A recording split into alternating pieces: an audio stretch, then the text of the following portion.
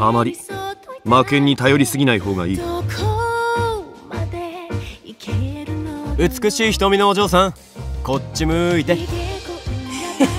有能だな。僕のことは気にしないで。プレゼントだよもちろん。これで終わりだ。その言葉忘れんなよ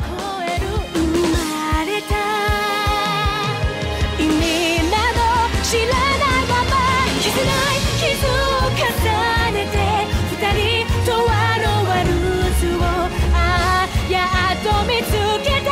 壊れそうなぬこもり読まない。涙のシンフォニー君を守りたい。どんなほどかすかでも聞こえるよそのことが私を呼び覚ますから